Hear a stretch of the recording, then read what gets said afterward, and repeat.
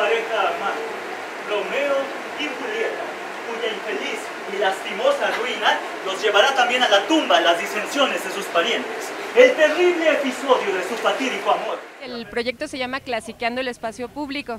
Somos varios, somos varios egresados de Bellas Artes, de la Escuela Popular de Bellas Artes, de diferentes generaciones. Surge con una búsqueda de llevar a los espacios públicos los clásicos de la literatura y del teatro, y entonces eh, Romeo y Julieta es apenas el primer montaje que se hace,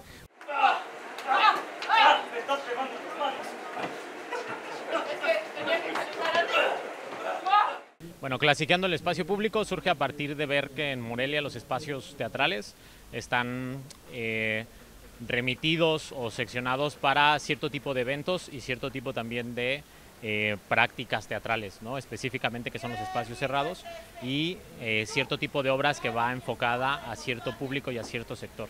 Entonces nosotros pensamos que era necesario salir a los espacios públicos a compartir el teatro porque si nosotros seguimos fomentando el hacerlo solo en el teatro, solo en el teatro, solo en el teatro, solo en el teatro, a final de cuentas lo que vamos haciendo es como cerrarnos, volver menos accesible algo que ya de por sí suele ser no tan accesible.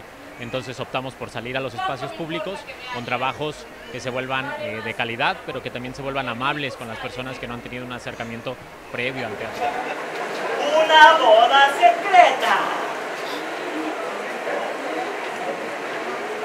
Yo los declaro marido y mujer.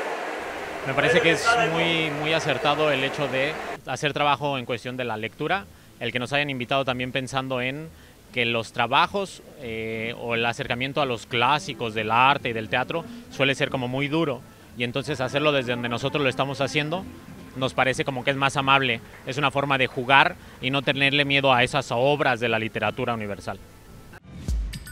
Feria Internacional del Libro y la Lectura de Morelia 2023. Palabra de maestro. CENTE, por la educación al servicio del pueblo.